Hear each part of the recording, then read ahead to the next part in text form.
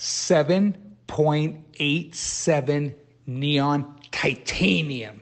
Look at the color, look at the sparkle. It's the metallic element of titanium that gives it that pop, that secondary luster, that fire, the way the light moves throughout the stone, the crystallization, the vibrance, the brilliance, the sparkle, everything coming out of it is powered by that trace element that is metallic. There's not many stones in the world that have metallic trace elements, Paraiba being the most famous of them all. Occasionally, we find sapphire with the presence of titanium in Tanzania and it glows. It just has the ability to disperse light like no other sapphire. Same here with these tourmalines. You can see Kat Florence has cut them remarkably. This is a beautiful stone. You've got diamonds, the design aeronautically engineered around it, but it really, the star of this piece is the titanium bearing tourmaline because of the rarity, because there's not many in the world.